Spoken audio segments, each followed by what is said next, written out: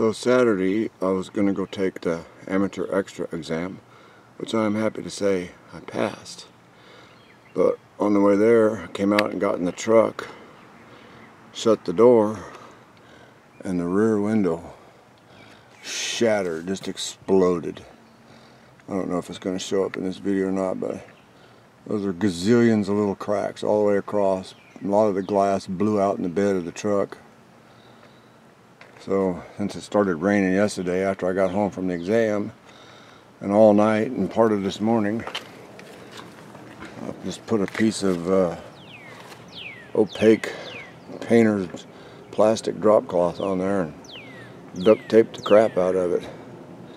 The guy's not going to be able to get out here till Tuesday or Wednesday to fix it although the insurance is going to cover it so anyways yesterday afternoon. I mean, it exploded glass all the way down out into here. Little little BB type pieces. Anyways, that's the deal with the truck. I know I didn't. I never heard of that. Never had it happen. Then I go out on the forums, and apparently it happens. Nobody knows why. You know, rain, um, not rain, but heat. Uh, maybe a bird flew into it. Who knows? Uh, but it sure doesn't just give you a crack when it goes. The whole thing goes from one side to the other. The only part that didn't break is the very middle where the sliding part goes. That's still in one piece. Although the rest of the window is bowed out and there's a big gap in there. So anyways, try and get that fixed Tuesday or Wednesday. Ruby's very first motel room. I can't, I can't walk. She's staying with, literally within inches of my feet.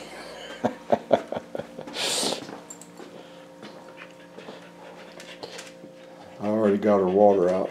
I'll feed her later. It's not a bad little room.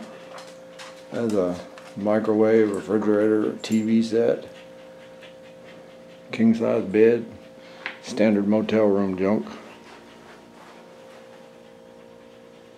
So, anyways, I'm gonna go find some cokes. I'll leave her in here to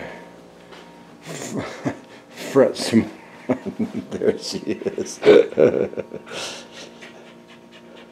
pat, pat, pat, pat, pat. Say hello. Say hello to the YouTube. Well, she heard the camera start up. After several hours in here, she finally calmed down and ate her dinner. Then she wanted up on the bed. she wanted up there. Are you comfortable, dog?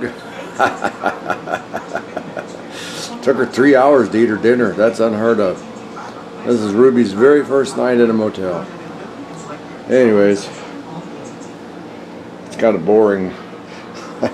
kind of boring. Uh, basic cable. Not even any. Got don't even have any HBO. But she does not want to be away from me. That's for sure. As soon as she heard noise, she was up and ready to get off the bed. Okay, we're done.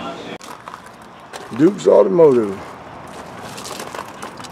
with my trusty travel companion.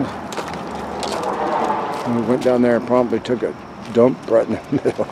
Anyways, they deal in Travel Lite RVs. Found them on uh, RV Trader. Although the stuff on the website is an error in terms of the weight. Because I was looking at two campers within 20 pounds of each other. And as it turns out, there are several hundred pounds difference. So we're going to get one of these. This is a uh, FB and I'm going to get the FK which is down on the other end. We're getting ready to put it on the truck. We'll do the paperwork and pay for it.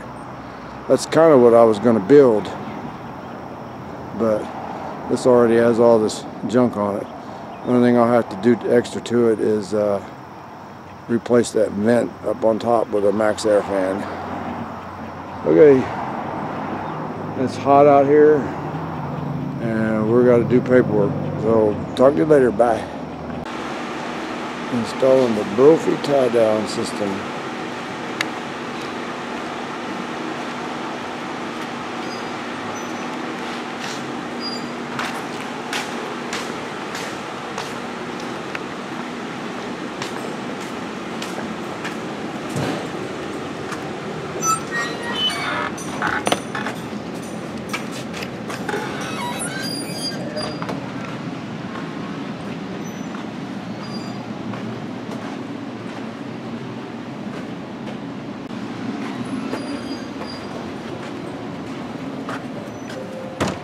We, we want to get. They got a fair number of RVs in here. Mostly Travel Lite, some Palominos.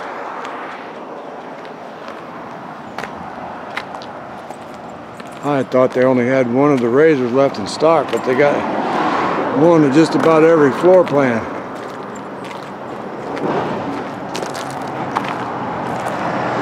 Not hard to find too. Duke's Automotive, Lancaster, South Carolina. Sell some of them 4x4s too. You know, down here and look at our FK. There's our FK sitting way up in there so they can load it on the truck.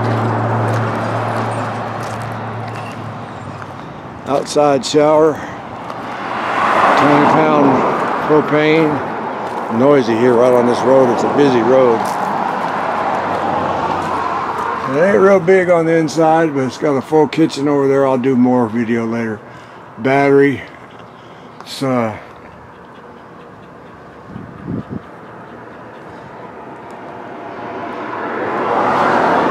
There's a porta potty in there, so I'll swap it out with mine.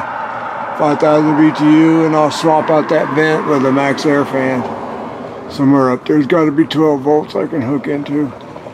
And a little two cubic foot refrigerator. Okay, 30 amp power cord. Hooks in there. Hooks in there.